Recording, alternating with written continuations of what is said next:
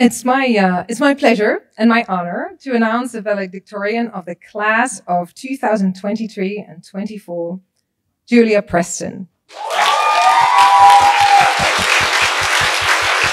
Please come forward. Please come to the Please front. come forward. Congratulations. and And we're there. all waiting to hear your speech.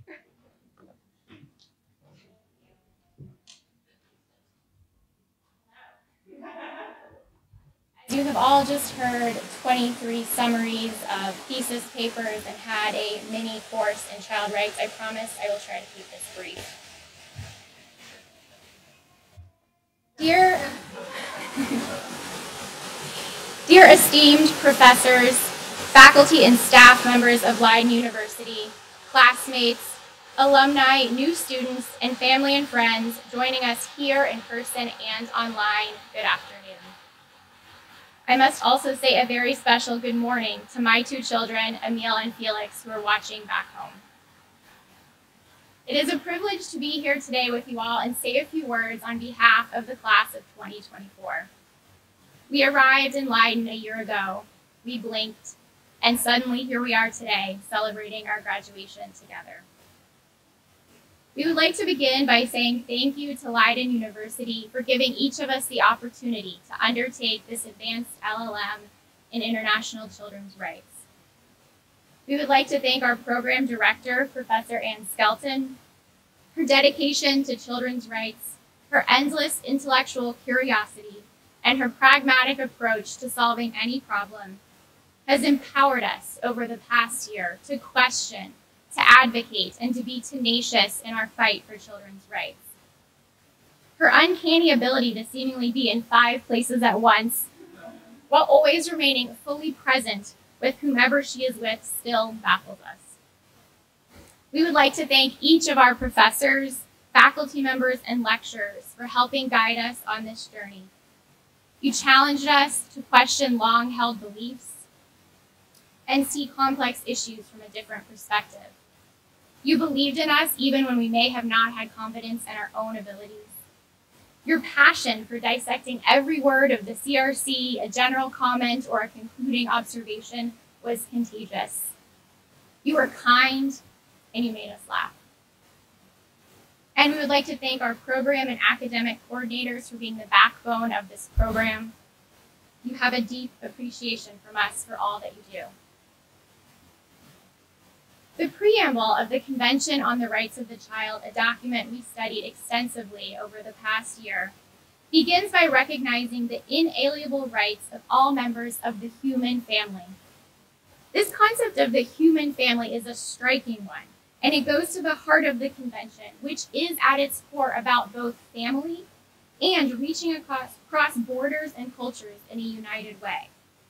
The Convention not only encourages international cooperation in working to uphold the rights of the children of this human family, but it relies upon it. The document draws its strength by recognizing we cannot do this alone and we are in it together. So it is fitting that our work here over the past year has been consistently intertwined with and shaped by what we have learned from and about each other.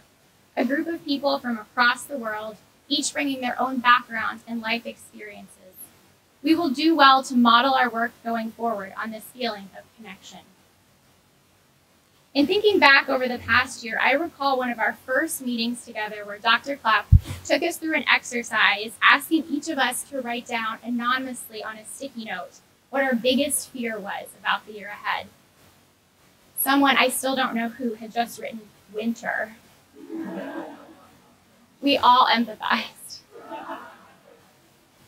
But people had also written fears about never having completed a thesis before, about feeling like they had nothing to contribute to class discussions, and about taking a leap of faith, uprooting their lives, and coming to Leiden. You have all been brave in the sacrifices you made to be here and in overcome the obstacles that came our way this year. The year has been filled with challenges, both academic and personal. We've taken exams that stretched on for days.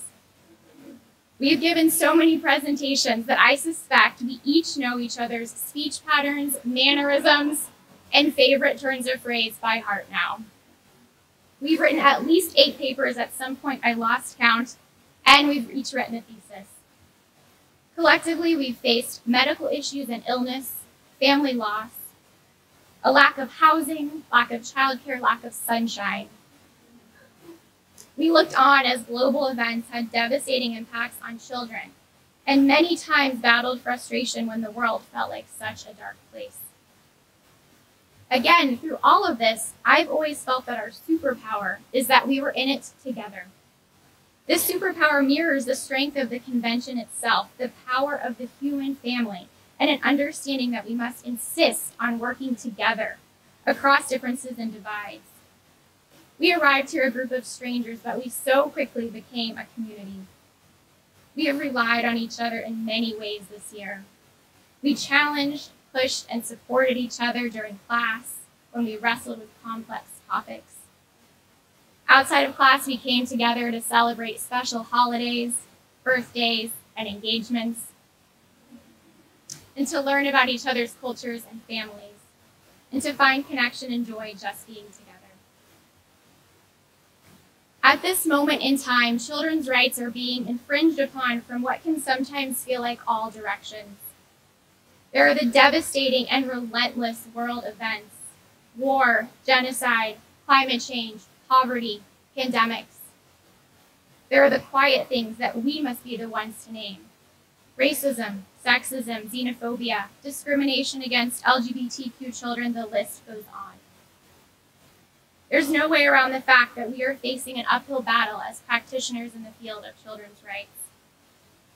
In our work going forward, we will undoubtedly feel discouraged at times and alone, but we will not be alone.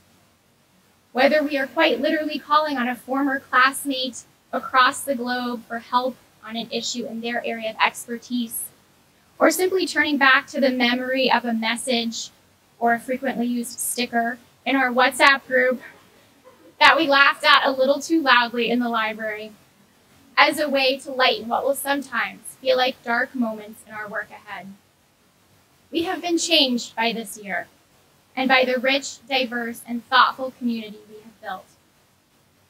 One made up not only of our class, but of every single person in this room, the vast array of lecturers and practitioners we have exchanged ideas with over the past year, and the countless child right advocates across the globe.